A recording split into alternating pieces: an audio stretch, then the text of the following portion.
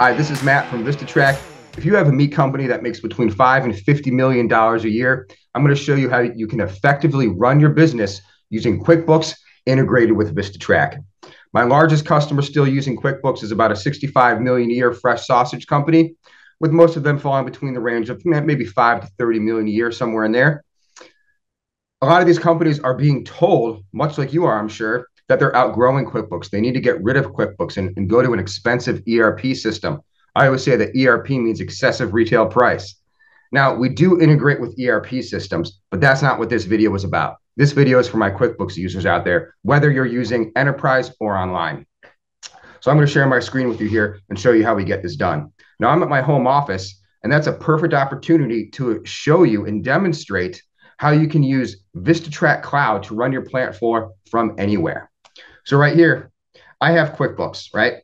We, we love QuickBooks. It's great for our financials. It's not good at inventory. It's not good at production, but we're not going to use it for those things. We're going to use it for our sales orders, our purchase orders, our accounting, maybe our payroll, and we're going to use VistaTrac to run our production facility. So here I got QuickBooks. I'm using estimates for my sales orders and purchase orders for my receiving. Okay. Over here in VistaTrac, this is our dashboard. It's showing me how many containers, how many labels I printed so far today. It's got my sales orders that's pulling in from QuickBooks. I got five of them in here for today, one of which has been manifested, four that have been manifested from yesterday. I got a couple purchase orders that were received this week and already closed. This is just demo data, so there's not a lot in here, but you get the idea. Here it's showing me my recent production batches. I got a few different types of batches that I'm making. It's showing me how much I've consumed, how much I produced, and what my yield percentage is. Now I can dive into all kinds of details and show you how these batch yields work and show you how we track raw materials. I just want to give you a brief overview of this concept today of running your business with QuickBooks and VistaTrac. You're going to keep QuickBooks because it's easy to hire people that know how to use it. Your accountant knows how to use it. If it ain't broke, don't fix it but you need to add state of the art traceability and production tracking. And that's what VistaTrac provides. Okay. So over here in QuickBooks, we're going to go to our estimates. If we look at this sales order here, I'm going to go ahead and edit this one. Take a look in here. All right. I've got my case counts that have been ordered 10 cases of strip steaks, 20 cases of ribeye, 20 cases of brisket. I even have special instructions on here that are going to come over to VistaTrac and print out my pick tickets and my cut slips has special instructions. I've got my order quantity in cases, but my pricing is the price per pound because VistaTrac is going to come back and update these sales orders after I've packed them and shipped them on the plant floor using VistaTrac packing computers, VistaTrac scanners, hardware designed for plant floor workers, software designed for plant floor workers, not an ERP system that's designed for an office worker to do data entry. We're using plant floor transactions, plant floor software designed for plant floor meat guys. Okay. So we're ordering by the case and we're going to fulfill these by the pound.